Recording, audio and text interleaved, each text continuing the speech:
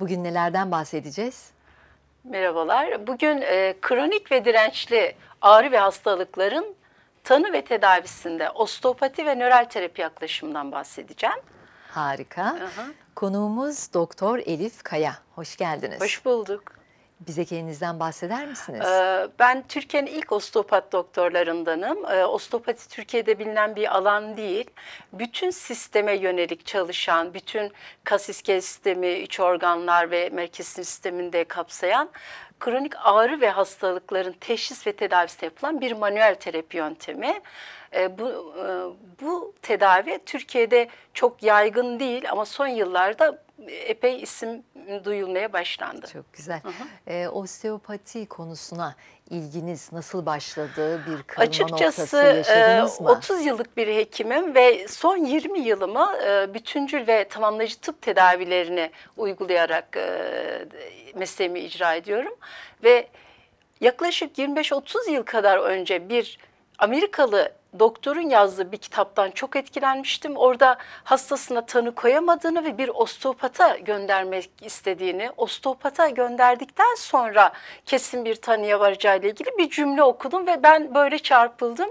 Zaten e, mesleğe ilk başladığımdan beri her zaman bütün sistemin, bütün bedenin birlikte değerlendirmesi gerektiğini düşünen bir hekimim. Orada e, yıllar sonra şans eseri karşıma Amerika, e, Almanya kökenli bir osteopati okulunun eğitimi çıkınca hemen kaydımı yaptırdım. Neyse. 15 yıldır osteopati uyguluyorum e, ve 5 e, yıllık 5 yıla yayılan 1600 saatlik bir eğitim aldım. E, ve son e, 4 yıldır da hekimlere yönelik e, osteopati eğitimleri veriyorum aynı zamanda hekim Çok arkadaşımla güzel. birlikte. Eğitmenlikte yapıyorsunuz. Eğitmenim evet 10 yıldır da e, osteopati ve diğer birçok alanlarla ilgili yaptığım tedavilerle ilgili eğitimler de veriyorum. Evet. Osteopatinin kelime anlamı nedir? Aslında osteopati, osteokemik pati de hani kemiğin ağrısı ya da patolojisi hmm. anlamında. Evet. Bunun sebebi de 1874 yıllarında Amerikalı bir hekim olan Andrew Taylor Still o dönemde normal tedavilerin işe yaramadığını düşünüp çünkü o savaş döneminde çok kayıplar yaşayınca evet. doğal terapilere yönelmiş ve tüm kas iskelet sistemi omurga sağlıklı halde ise bedenin sağlıklı halde olacağını e, üzerinden varsayımda bulunarak bu sistemler üzerine çalışmaya başlamış ama daha sonra onun e, meslektaşları visceral yani iç organlar ve kraniosakral osteopati olarak yani merkez sinir sisteminde içeren alanları geliştirip tüm bedenin birlikte çalıştığını ve birbirine bağlantılı olduğunu e, tespit edip onunla ilgili bu tedavi disiplini geliştirilmiştir. Amerika ve Almanya'da 4 ve 5 yıllık e, eğitimler şeklinde e, görülen bir eğitim programı. Türkiye'de biz e, doktorlara 2 yıllık eğitimler, Sağlık Bakanlığı sertifikalı 2 yıllık eğitim verdik ve 2 dönem yaklaşık 40 e, hekim arkadaşımız da e, osteopat hekim olarak Sağlık Bakanlığı sertifikalı osteopat hekim olarak mezun ettik. Çok tebrikler, başarılarınızın devamını Çok sağ diliyoruz. Peki verdiğiniz hizmetlerden, uyguladığınız tedavilerden biraz daha detaylı Aa, bahsetmek Aslında birçok tedavi birlikte uyguluyorum. Bu yaptığım teşhis ve tedaviye yönelik olduğu için özellikle nöral terapi, osteopati, eplat kinezyoloji, akupunktur, klinik psikonöroimmünoloji, homeopati, e, ve birçok tamamlayıcı tıp, e, e, fitoterapi, ozon terapi gibi birçok tedaviyi entegre bir şekilde integratif olarak kullanıyorum. Yani sadece osteopati ya da sadece nöral terapi, sadece akupunktur değil de hastam kapıdan girdiği anda hastamın teşhisinin e, aslında problemin ne olduğunu bulmaya çalışıp ona yönelik tanı ve tedavimi geliştiriyorum. Bize bana gelen hastalar zaten e, doktor doktor dolaşmış, hiçbir çare bulamamış ve son çare olarak ya bir yerden duymuş veya bir referansla gelen hasta oluyor. Bu hastaların üzerinde resmen e, hastalık yaftası yapıştırmış olarak gelir ve hastam girdiği zaman içeriye işte neyiniz var diye mutsuz. sorduğumda çok mutsuz, Hı. üzgün.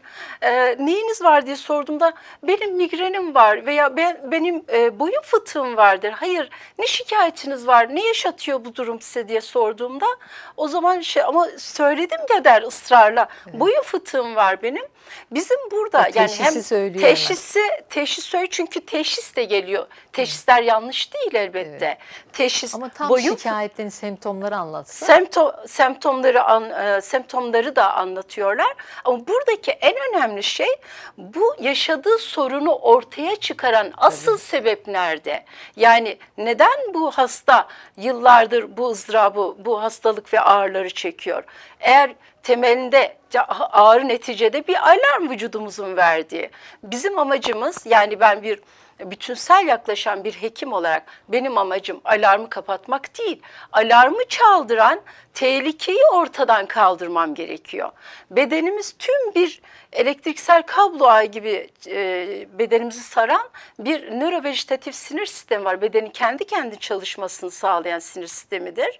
Ve bu sinir sisteminin e, bütün bedene, bütün dokulara dağıldığını biliyoruz hayati bütün organları yani kalp, e, akciğer, mide bağırsak sistemi, karaciğer, üreme organları, hormon sistemi, immün sistemi çalıştıran bir sinir sistemi. Yani kendiliğinden çalışan ve bedenimizin sağlıklı olmasını sağlayan sinir sistemidir.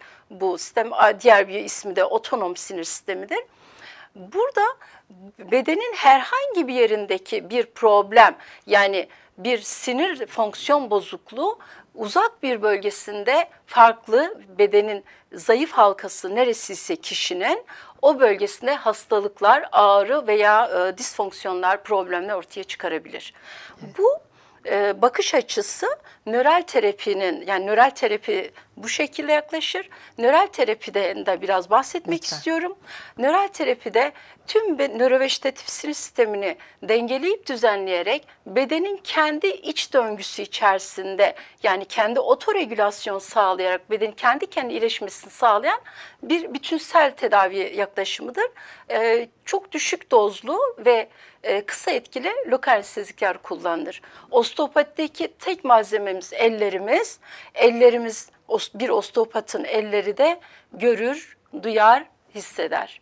Yani bu e, eğer bütünsel yaklaşma yaklaşabilmeniz için hastanıza tüm sistemlere hakim olmak gerekir. Nöroanatomi, fonksiyon anatomi, fizyoloji gibi tüm temel tıp bilgilerine hakim olmanın yanı sıra hastanın dokunduğunuzda hastanızla da doğru iletişim ve doğru anamnez alarak hikayesini doğru bir şekilde alarak hastanızın tanısını doğru gitmenizi sağlamanız gerek gerekiyor. Dolayısıyla eğer bir hasta boyun fıtığıyla gelmişse bana neden boyun fıtığı olmuş diye sorarım. Veya bir omuz ağrısıyla gelmişse neden? Çünkü omzunda evet problem olabilir ve boynunda zaten MR'larında fıtıklar gözükebilir. Buradaki fıtığı ortaya çıkaran ana sebep gizli yani görünen kısmı değil de bu durumu ortaya çıkaran asıl sebepler bulunup sonuçla birlikte yani semptomla birlikte tedavi ettiğinizde hastanızı tedavi edebilirsiniz. Tabii. Yani bütünsel Önce e, osteopatik yaklaşım yaklaşım, ve nöral terapi yaklaşım bu şekilde Evet, çalışmakta. önce kök sebep nedir? Evet. Ondan sonra teşhis ve tedavi. Tanı, bütünsel. tedavi. Evet. Mesela e, eğer bütün bedenimizi aynı zamanda bütün doku, organ, cilt altından kemik yapıya kadar ve organları saran bir yapı var. Bu osteopatide çok önemli. Biz buna fasya diyoruz, bir bağ dokusu. Üç boyutlu entegre bir yapıdır bu. Tepeden topuğa kadar tüm bedendeki yapıları sarar, birbirinin üzerinden geçmesini sağlar ve koruyup kollar. Bu mesela geçirilmiş bir ameliyat, sezeryan skarı diyelim. O bölgedeki yapışıklıklara sebebiyet vererek bedenin zayıf halkası neresiyse o bölgesinde sıkıntı ortaya çıkarabilir. Mesela üç tane kadın alalım sezeryan doğumu yapmış. Birisinde boyun fıtığı çıkabilir, bel boyun ağrısı olabilir. Diğerinde baş ağrısı olabilir. Üçüncüde hiçbir şey olmayabilir. Bu kişinin altyapısının e, bedenin genetik olarak getir, doğuştan getirdi veya sonradan kazandığımız zayıf halkaları neresiyse o bölgeyle ilgili sıkıntı ortaya çıkarır. Önemli olan sebebi bulmak. Sebeple birlikte sonucu tedavi ettiğinizde zaten farkı yaratırsınız. Ama benim hep eğitimlerde de meslektaşlarıma söylediğim çok önemli bir şey var. Hastanızı dinleyin derim. Evet. Zaten tanı hasta kapıdan girdiği anda başlar. Hastanın duruşu, yüzündeki ifadesi, postürü, omuzlarının duruşu veya hastanın yürüyüşü, cildinin rengi, gözlerindeki ışıltı bunların hepsi bana kişiyle ilgili bilgi verir. İlk seansım biraz uzun sürer. Kendi kliniğimde çalışıyorum bu arada 17 yıldır kendi ait kliniğimde çalışıyorum. Hastalarımı öncelikle ilk seansta uzun zaman tanırım. Onları tanıyınca ve onlar da beni tanıyacak ki hani bir iletişim kurup doğru şekilde anamnez hikaye alabileyim. Dolayısıyla hastama ilk seansta sorduğum sorular hani öncelik onun şikayetiyle ilgili, sıkıntısıyla ilgili kendi cümleleriyle bana sıkıntısı anlatmasını öncelikli isterim. Daha sonra detaylı olarak anamnezini alırım. Yani ağrısı ne zaman başlamış, ağrısı veya hastalığı ne zaman başlamış. Bu şikayetleri ortaya çıkmadan aylar ya haftalar önce hayatında ne değişiklik olmuş, geçirdiği herhangi bir fiziksel travması var mı? Kesi, kırık, yanık, ameliyat diş tedavileri veya enfeksiyonlar, tonsilit, e, bağırsak enfeksiyonları, sistit gibi bir enfeksiyon yaşamış mı veya bir duygusal travması var mı? Duygusal travmalarda vejetatif sistemi etkiler ve hastalıkların kronikleşmesine sebebiyet verebilir. Dolayısıyla hastanızı iyi tanırsanız hastanız zaten sebebini söylüyor. Biz burada e, hastanın tüm sistemlerine yönelik çalıştığım için hastanın yani duygusal alanıyla da ilgili çalışmak zorundayım. Çünkü sağlık şöyle eşkenar üçgen Bir- üzerine kurulu. Bütünsel değil mi tamamen? Bütünseldir. Fizik beden, emosyonlarımız ve biyokimyamız. Bunlardan herhangi bir ayak bozulduğunda tüm sistem birlikte bozulur. Yani beden parça parça çalışmıyor. Etkiliyor, hepsi birbirini etkiliyor. Kesinlikle. Hepsi birbirini bütün. etkiler. Dolayısıyla hastamın duygu durumunu da bilmek zorundayım. Bazen hastalıkları kronikleştiren sebeplerin başında ta çocukluktan itibaren gelen bir duygusal travma da yatabilir. Ancak ben bunu hastamla doğru iletişim kurduğumda, onu anladığımda ve ve onun e, gerçekten empati kurduğumda hastanın bana tamamen kalpten tamamen bütün her şikayetle ilgili veya yaşadıkları ilgili yaptığı açıklamalarda bulduğum o bilgiler beni tanıya götürür. Ve dolayısıyla sadece fizik bedene değil aynı zamanda duygusal alanlarda ilgili bir problemi varsa, fonksiyon bozukluğu varsa onların da düzeltilmesi yönelik Kesinlikle. tedaviler yapıyorum. Çok önemli. Bu tedavilerin içinde de en önemlisi zaten nöral terapide de strese yönelik tedaviler yapılabilir ve osteopatide özellikle osteopati 3 e, kraniosakral osteopati dediğimiz disiplinlerden yani sistemlerden birisi üzerinden hastamın tedavi yapıyorum. Stres, kaygı veya geçmişten o güne kadar getirdiği duygusal travmaların düzeltilmesi ve parasempatik sinir sisteminin dengelenmesi için yaptığım bir tedavi. Ee, ve tüm kas iskelet sistemin düzenlenmesi ve iç organların değerlendirilip tedavisi gerekli yerlerde tedavisi yapılmasını içer, içeren bütünsel bir yaklaşım. Evet. Değerli hocam sizinle sohbet çok keyifliydi fakat programımızın sonuna geldik. Evet. Katılımınız, bu önemli açıklamalarınız için çok teşekkür ederiz. Rica ederim. Söylemek istediğim bir şey var son Tabii. olarak. Ee, tedavinin ismi hastayı tedavi etmez. Mis hasta bana gelir birçok defa. Hocam ben nöral terapi yaptırdım bana yara ya da osteopati yaptırdım yaramadı. Öyle bir şey değildir. Hekim tedavi eder hastayı.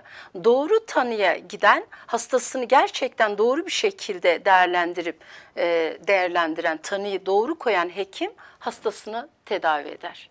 Kesinlikle. Teşekkür ederim. Rica Çok ederiz. Biz çok teşekkür ederiz. Şeref verdiniz. Sağ, Sağ olun olun. hocam. Çok teşekkürler. Sevgili izleyiciler tekrar görüşmek dileğiyle. Hoşçakalın.